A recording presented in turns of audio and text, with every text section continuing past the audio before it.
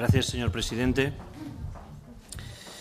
Ciertamente no es la primera vez que desde el Grupo Parlamentario de Esquerra Republicana, bien en el Congreso de los Diputados o bien en el Senado, eh, pedimos que el Gobierno español y el Estado reconozcan a la República de Kosovo.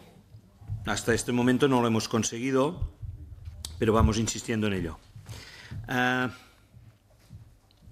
en estos momentos, la verdad es que tan solo hay cinco estados de la Unión Europea, Chipre, Grecia, Rumanía, Eslovaquia y el propio Estado español, que se resisten a reconocer a la República de Kosovo. Contrariamente, el Parlamento Europeo recientemente aprobó por una amplísima mayoría de 403 votos frente a 103 que se reconociera la República de Kosovo. Y así se lo hizo saber al Estado español para que éste moviera pieza.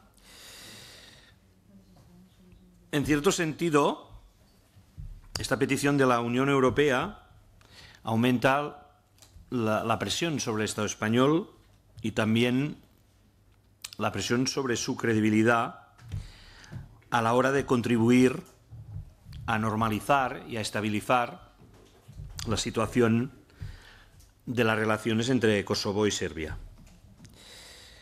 Obviamente nosotros desde el Grupo Parlamentario de Esquerra Republicana estamos eh, por la fraternidad entre los pueblos y para mejorar eh, la convivencia. En este sentido, a nosotros nos parece que a veces el mayor problema que tiene el Estado español con el reconocimiento de la República de Kosovo es quizás que se albiran algunos fantasmas y se quiere pues ver en lo que sucedió en los Balcanes mmm, un cierto paralelismo con lo que pudiera pasar en el Estado español si sus diferentes pueblos pudieran ejercer el derecho de autodeterminación tal y como lo entendemos desde el grupo parlamentario de Esquerra Republicana. Desde la declaración de independencia de Kosovo en el año 2008, pues han pasado más de, ocho años, se han ido superando diversos escollos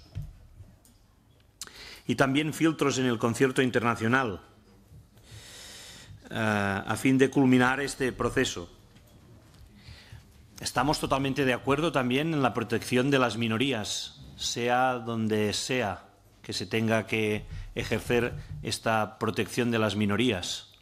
Por tanto, la República de Kosovo también tiene que tomar los mecanismos necesarios para proteger a, a la minoría serbia existente en este Estado, en este país. A nosotros nos parece que desde el punto de vista de acción exterior del Estado español, donde en determinados momentos quizás no nos deberíamos meter mucho, no es muy loable pues que se sitúe al mismo nivel que Chipre, Grecia, Rumanía y Eslovaquia, que quizás son cuatro estados que ni son punteros desde el punto de vista económico y que incluso cuentan con algunos déficits respecto al respeto a sus propias eh, minorías. En este sentido, les pedimos pues, que el Estado español haga un paso firme adelante en este sentido, que entienda que el derecho de autodeterminación está perfectamente pues, regulado y, y, y tasado en lo que se refiere a la normativa del derecho incluso público internacional,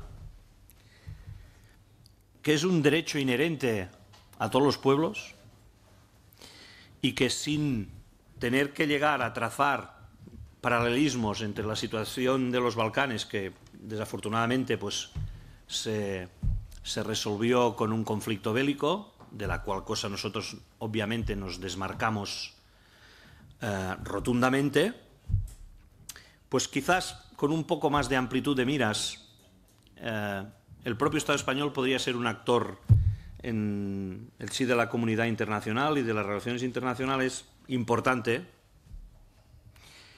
Y por eso pedimos que el voto de esta comisión sea favorable a la moción por la cual solicitamos el reconocimiento de la República de Kosovo. Muchas gracias. Muchas gracias, portavoz. No se han presentado.